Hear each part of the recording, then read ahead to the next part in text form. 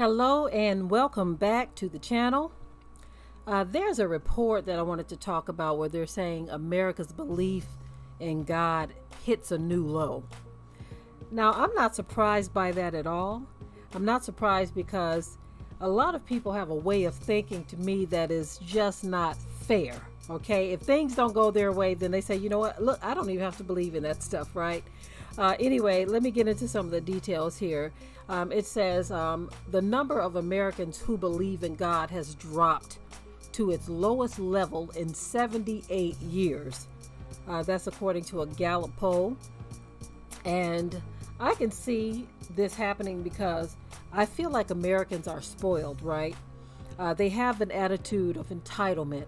And for the past few years, I would say the past three years or so, or two and a half years, or a little bit more than two and a half years, things have kind of gone downhill in America. And you have a people who believe that everything is supposed to be just hunky dory for them all the time, right? Uh, that they shouldn't go through any type of struggles or hardships.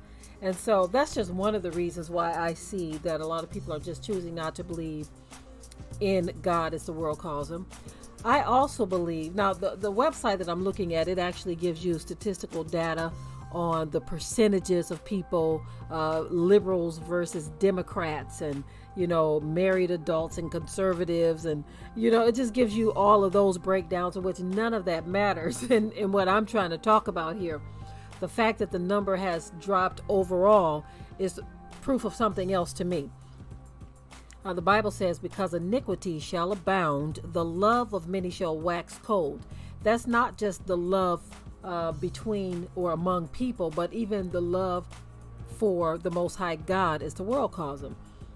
A lot of people are opting out of the whole God thing because their love is waxing cold overall, right? A lot of people are getting to the point where uh, they they feel like they don't need a God to serve or worship because they feel like their lives is theirs. They can do whatever they want.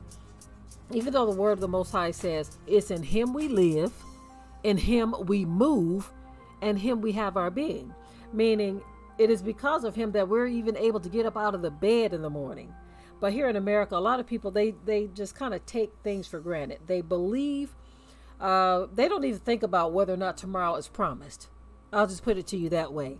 Most people go to bed with their plans in their head about what they're going to do tomorrow, what they're going to do next week, what they're going to do next year, even for the next 10 years. Now, there's nothing wrong with making plans, but the Bible specifically says that when we make plans for another day that's beyond today, we should say, if the Most High wills.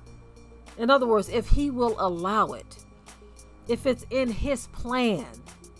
That's what we should say. But most people make their plans he don't even come into their minds. They don't even consider whether or not they will even be breathing on the day that they've made those plans for. It doesn't enter their minds because for many people, God, as the world calls him, has become a non issue. And so this particular poll was based on the beliefs and thoughts of Americans. A lot of Americans are very high minded, filled with pride. And so a lot of them are losing their belief because things have taken a downturn. And in their minds, they're like, I, I refuse to believe in a God who would allow this to happen or that to happen, or a God who would do this to me or who would do that to my family. Instead of having that humble attitude that Job had, where Job said, When I consider what he, the Most High, is able to do to me, I am afraid of him. That's how Job looked at it right? But most people, they call themselves getting angry, upset, and refusing to believe or serve a God who they believe could do such things to people, period. See, a lot of people think that he sits on high and all he does is thinks about how much he loves people on planet Earth. And they think that he's supposed to wrap the whole earth with a big love blanket, regardless to how they have lived their lives regardless to how they think of him, how they treat one another, how they serve him. Most people believe that, oh, God is good, and that's it. See, that's why certain books were removed from the Bible. Uh, there are certain books in the Apocrypha that says that you should not only look at the goodness and mercy of the Most High God, as the world calls him, but you should also consider the fact that he is a God of wrath, an angry Elohim. He is a terror to them that dwell on the earth. See, people don't want to talk about that part of God, as the world calls him. They don't want to talk about the fact that he says, I am the one who sends the whirlwind or the tornado, as it is referred to here in America. They don't want to consider the fact that he is the one who sends the hurricane.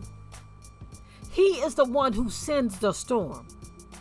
He is the one who dispatches the angel of death throughout the earth. See, but people who know the Most High, people who understand how He works, we understand that yes, He is a God, as the world calls Him, of mercy and love and grace. But He is also to be understood as the one who gives life and who takes life. And so when you consider these things, a lot of Americans, they have that uppity attitude of how dare you do these things to us. Now, we can see you doing it in these third world nations. But over here, how dare you allow us to suffer? And so that is the reason why some don't believe. Now, others are losing their belief because they want to do what they want to do. And they're saying, I don't need no God over my shoulder telling me that I can't do what I want to do.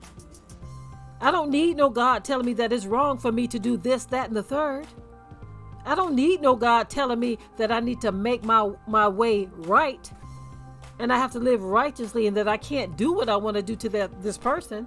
I don't need no God telling me that I can't commit the sin that only lasts for a season. So some people they say, look, if you're going to have all these kinds of rules that govern my life, I just won't believe in you. People who have sexually deviant lifestyles, they don't want to believe in God, as the world calls them. It's too much. They say, if I believe, then that means I'm going to have to stop doing this. That means that I can't be with the person that I want to be with because the God and creator of heaven and the earth says that I can't do it. So a lot of people are using moral, their moral decisions to delete God, as the world calls him, out of their lives. It all boils down to that. Now, of course, there are many other reasons. Some people were born in a household where Satan was the ruler, right? Some people were born in households that were so godless to where they never considered him to begin with. Some people were born into scientific households to where they believed that they came up out of, you know, some um, little speck of amoeba that came out of the water, some piece of bacteria that just kind of grew into this, developed into a frog, and then from a frog to a dog, from a dog to a monkey, from a monkey to a man. However, their timeline goes, right? You have those who were born into that situation to where they never believed, and they just believed that we just came out of some some particular living being. But what gave that living being is life to begin with, right? How did we all morph into this intelligent being that we've become? Out of a speck of living matter from the ocean. You see, either way it goes, people have conjured up their own reasons why they don't believe in God, and some who are choosing not to believe in Him anymore, whereas they used to believe, but they believe no more. Many reasons out there, right? But it's really a trip to me that America's all time low we are looking at it right now, but I'm not surprised. I'm not surprised. Because iniquity shall abound, the love of many shall wax cold. Anyway, y'all, I'm done with this video. Of course, share your thoughts in the comment section below. Those of you who don't believe, please share with me why you don't believe in God. And tell me how you think you got here, okay? I'm just curious. How do you think you got here? If you don't believe in God, if you don't believe that mankind, heaven and earth, and all that dwells therein was created? If you don't believe it, how did we all get here? Share your comments in the comment section below. Until next time, I'm out.